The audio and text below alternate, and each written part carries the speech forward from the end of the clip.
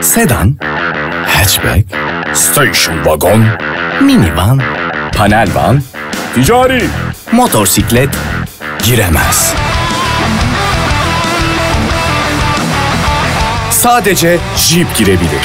Sen de Jeep Experience Center'a gel, şehrin içinde offroad deneyimi yaşa, Jeep'in gücünü serbest bırak.